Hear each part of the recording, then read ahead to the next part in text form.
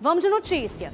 Na tarde de hoje, no bairro Diadema 2, em Horizonte, a Polícia Militar registrou mais uma execução. Vem comigo, coloque no telão, produção. O crime aconteceu na Avenida Leandro Bezerra. O alvo dos atiradores foi um jovem conhecido na comunidade como Capetinha.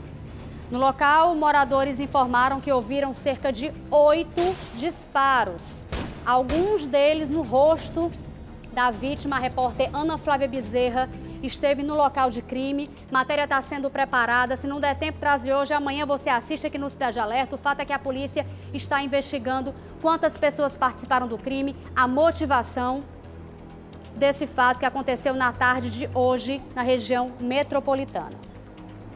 E por falar em hoje, a Polícia Militar foi acionada